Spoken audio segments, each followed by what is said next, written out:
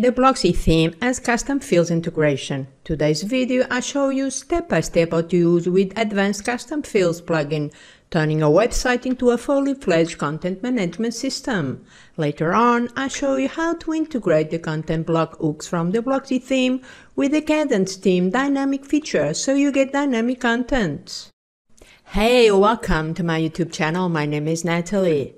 Before we get started, please support the channel by giving a big thumbs up and to subscribe to the channel. It's free and it means a lot to me. I have imported this beautiful Blocksy starter template. This is a recipe web design. This layout is available for Gutenberg, meaning we will be using WordPress blocks so you can customize without relying on any third-party page builder. Created custom fields data uh, is a great way to customize your content. By adding extra pieces of information, you add content fields to your WordPress edit screens. I have already three custom fields.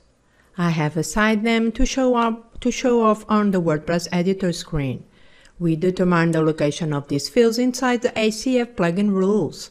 We have a location type, a comparison operator, and a value in order to be registered as a custom location type.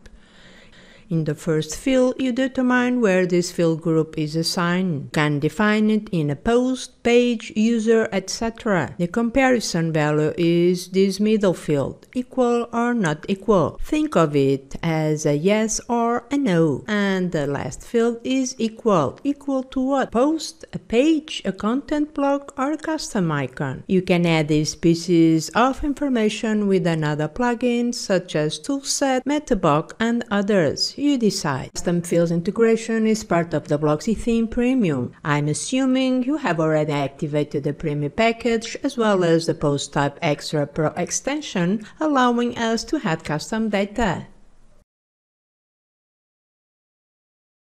The next step the next step is to show you my ACF fields on the WordPress editor screen.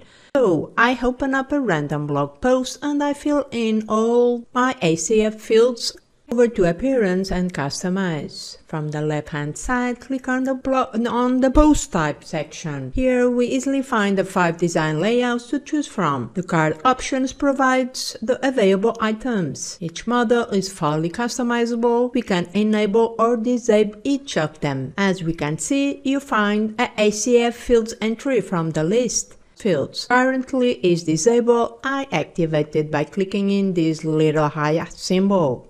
Click on the down icon to expand the options. I have my three ACF custom fields. I want to bring in the first one, so I select and I also activate the label field. These three fields, after, before, and fallback, are static elements we can add before or after the dynamic content value. The fallback option is used in case the element has no content or does not exist. For this example, I insert the following in the before field. Is it gluten-free? Now I pull in in my second and third ACF fields. The easiest way to do so is to click on the clone icon to duplicate the item. Click on the down arrow to expand the options. I change the ACF field. I delete the previous before field. I insert the grams. I clone once more. I select my third ACF field. In the before field, I had total fats. Here they are. Cool. Great. Another great feature is the ability to reorder the items by position them anywhere you want inside the card elements list. All you have to do is to drag up as I'm doing to control the positions of the ACF fields. There you go. Alternatively, you can also have them as post metadata, expand them, and I activate the ACF custom data. This time they, they will be placed below the feature image. I insert my three ACF fields in it by cloning the first one and the second one just as I did it before. Amazingly, we can have icons as item styles. So I have three different icons and I position them wherever I need to. You can also stylize the dynamic data by clicking on the Design tab and change the meta, font colors, etc. There's also a post filtering option. Scroll down to find the post filter. Activate. You can add this useful feature by using categories or tags to customize as you wish. This is a great theme. Moving on to personalize our single post template with the Blocksy theme premium. Filling in the ACF fields inside the blog post as usual so that you can inside the customizer pull in these meta fields. This is the single post template loop from the intuitive advanced customizer. Click now on the single posts. In the page elements items there is another great feature that is to enable the read progress. I enable this and I also changed to white color. Going to the design tab so you can check it through the page we notice a custom progress bar at the top of the screen. To put in the ACF data into this single post template, click on the post title at the top. This enables you to customize the post title area. Think of this area as your hero area. Expand them under the page elements list, you find easily the ACF fields entry. Click on the high symbol to activate. Expand the options. I select my custom data, also the label. In the before static box, I input a question. Then I duplicate it by clicking on the clone icon. Expand selected the second ACF field to be pulled into this single post template loop. I duplicate it once more to fetch my last one. On the canvas you are viewing the ACF fields on your right. You can also stylize the meta fields data by going to the design tab and change it. This is a very straightforward process looking good. Additionally, you can drag them up and position them wherever you want. There's also the ability to add a background image to this section. Let me show you what I mean. Click on the container background image custom option. Click on select image to add a custom one. Then I upload from my WordPress library. Let's tweak some font colors. Go to the design tab and I change the three ACF fields to white color. There it is, the final result. Now let's use another powerful Blocksy theme feature that is the content block feature which is very similar to Kadence Hooks elements in case you are familiar with the Kadence theme. I have a full Kadence playlist here in my channel where you can learn a lot on how to use the great features. I will leave the link so you can check it out. Now what I want to do is to add a custom section inside the single post template. To do that, I'm going to use the content blocks of the Blocksy Premium. It works with most page builders. We will be using Gutenberg to insert without the need to know any kind of coding.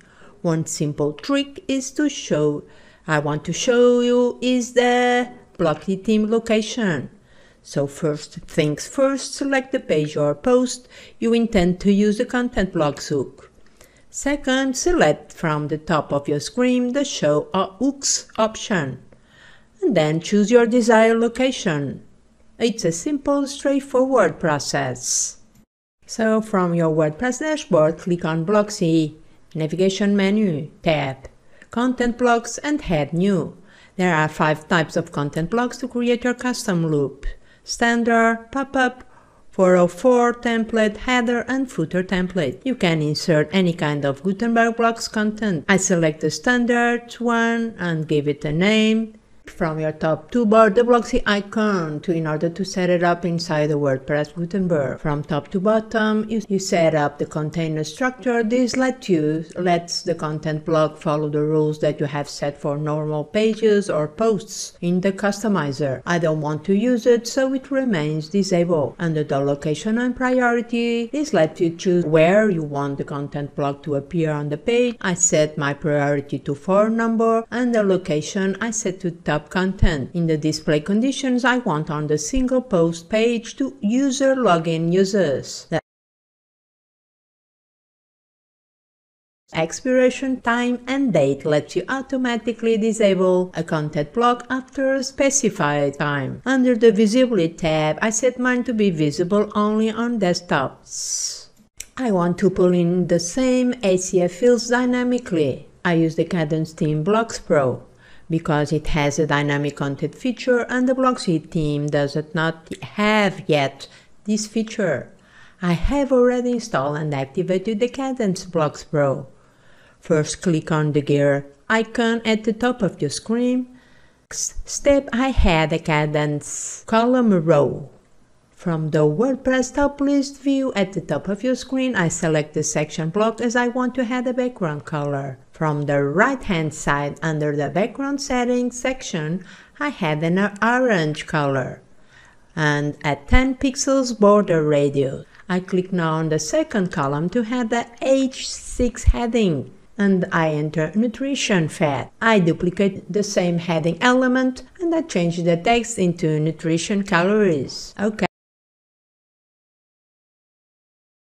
I select the third column, I have the icon list block. To pull in the custom meta, click inside the icon list to open up the dynamic content icon. It opens up the, this pane. The first box, select Post Custom Field once we determine the ACF fields to be associated with the posts. The content source it stays as it is once this is a Blocksy content block. Under the custom field, select the ACF field you want to add dynamically. For me, I select the gluten-free field. Scroll down till you find the Insert the Dynamic Content button. Click it to assume. If you see a text message saying no content, proceed as it will work on the front-end view. I had two more icons list to fetch my two remaining fields. Under the custom field, I select the ACF field you want to add dynamically. To me, it's fine as it is. It's perfect once you've published and now we are going to check on the front end. This is a simple example showing you how you can use the Kadence Dynamic feature alongside the Blocksy content blocks to bring in dynamic data. We could improve the colors by going once more to the Blocksy content blocks hooks and from there I tweak the font colors to white and that's it you so much for watching. If you like, please give me a big thumbs up or leave a comment below. See you next time. Bye bye.